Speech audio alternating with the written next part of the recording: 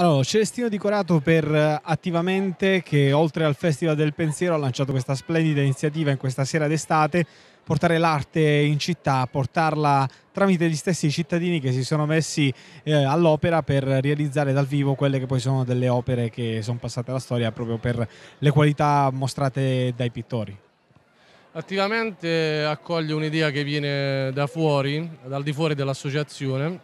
da Michele Carchia, eh, da altri mh, cittadini appassionati d'arte, raccoglie questa, questa, idea e cerca di mettersi a disposizione e coordina un pochettino tutta la, tutta la serata e mh, anticipa il, il, Festival del Pensiero, infatti un viaggio nell'arte aspettando il Festival del, del Pensiero, lanciamo in questa serata il, il tema della, della, terza edizione del Festival del Pensiero che è il, il viaggio.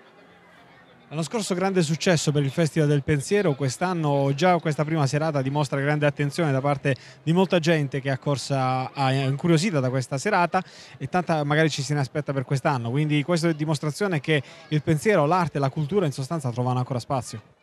Io direi che c'è bisogno di, di, cultura, lo dimostrano questi eventi, e c'è bisogno anche di partecipazione, di comunità. Questo è un evento in cui sono coinvolti oltre 30 interpreti che mm, sono i figuranti, sono coloro che appunto eh, rappresentano i quadri dei più grandi pittori eh, della, della storia dell'arte, ma eh, c'è anche il lavoro dei parrucchieri, dei costumisti, i truccatori, eh, tanti cittadini che si sono messi a disposizione in maniera gratuita. Questo fa bene alla nostra comunità, eh, ci fa eh, riavvicinare e permette mh, il successo di, di, queste iniziative che non possono avvenire senza, sicuramente senza il contributo di, di tutta la comunità.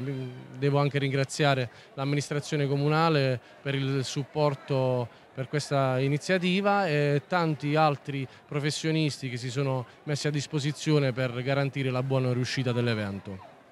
Quali saranno le novità 5-6 ottobre per il Festival del Pensiero? Quali saranno gli ospiti? Cosa c'è da aspettarsi? Allora, gli ospiti aspettiamo, lasciamo ancora un po' di, di suspense, eh, ci stiamo lavorando, siamo a buon punto. Tanto possiamo dire che il 5 e il 6 ottobre sono le date eh, del Festival del Pensiero per quest'anno. Abbiamo anticipato anche il tema che è quello del, del viaggio